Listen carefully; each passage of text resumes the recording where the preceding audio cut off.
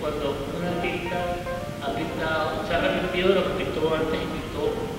en capas posteriores otros cuadros y a la larga van apareciendo con el tiempo,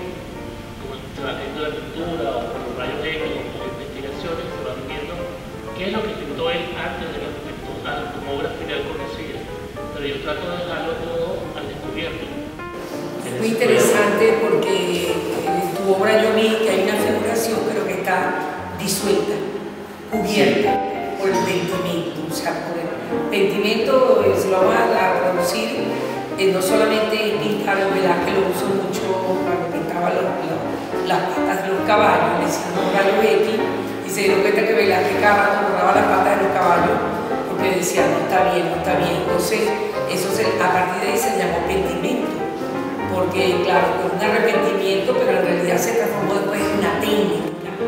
la técnica de tapar una capa sobre la otra cuando, cuando eh, Antonio se está confrontando con el resultado de lo que hizo. Y va haciendo el resultado y va reconstruyendo el resultado a través de otras imposiciones de otras figuras. Entonces la figura, la figuración de Antonio es una figuración mixta, que está entreverada,